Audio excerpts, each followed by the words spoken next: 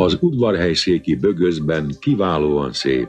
és régészeti tekintetben nagy műértékkel bír a reformátusok ódon temploma, mely székelyföldi régi egyházaink sorában a kiválóbbak közpompálkodik.